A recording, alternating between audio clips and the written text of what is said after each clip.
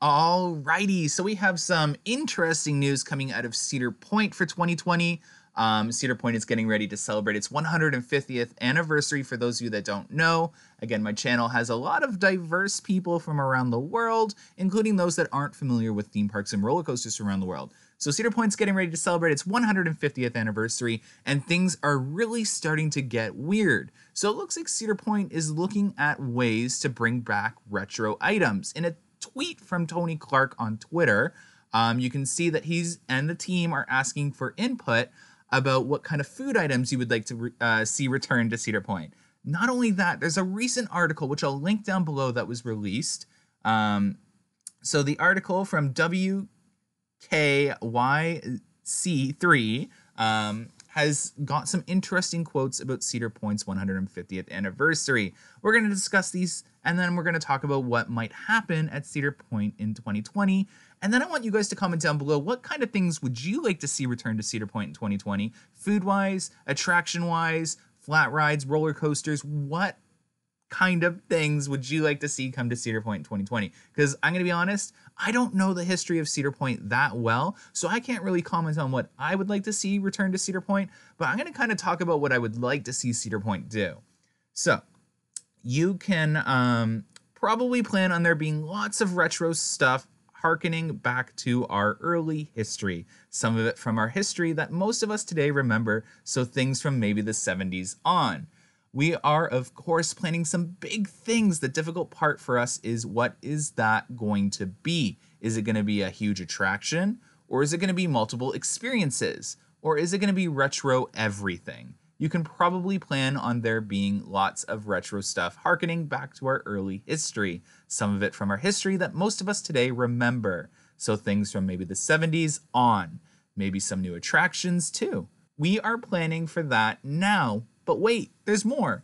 If you're expecting one giant 800 foot roller coaster, probably not going to happen. But if you're expecting multiple cool things, that's probably more along the lines of what we're thinking. It's such a big celebration. You can't just celebrate with a roller coaster. It's going to be multiple things and things for everybody in the family. That's really what we're focused on. So, those are really interesting quotes. We know that Cedar Fair is going after experiences. We know that Cedar um, Fair and Cedar Point are changing up the way they do things. Roller coasters haven't been working for Cedar Fair lately in terms of Cedar Point.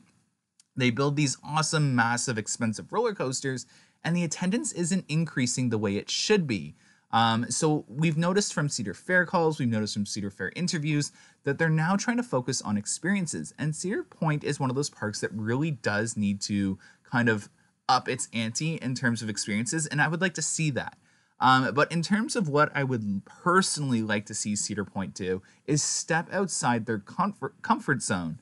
Um, these Intamins B&Ms are not going to keep pushing the limits at Cedar Point, and I would love to see something new and unique. I think Fly at Phantasialand would be something I would like to see Cedar Point do. Um, I want to see something unique, something that we don't have in North America. Um, I'm kind of over, you know, these B&M models, and everyone knows I'm a fant- like a huge fan of B&M, and there's no hate on B&M whatsoever. But Cedar Point has so many of those options, and they're just kind of repeat attractions with similar inversions, similar elements, and I want to see something unique that stands out. Again, Cedar Point has this kind of like comfort bubble, um, and they kind of never really go outside of it. Steel Vengeance, in my opinion, was the first time that I saw Cedar Point step outside that comfort bubble. Um, and I would like to see them kind of just burst out of that bubble and build something truly unique. Um, I want to hear from you guys. What do you think Cedar Point should really do to kind of step outside their comfort zone? What kind of attractions around the world, or not even yet built yet, would you like to see at Cedar Point? Um, but that being said, it does sound like Cedar Point is focused on experiences. The 150th anniversary sounds like it's going to be something unique and different. Um, and uh, maybe the 150th anniversary will be celebrated in two years, maybe 2020 and 2021.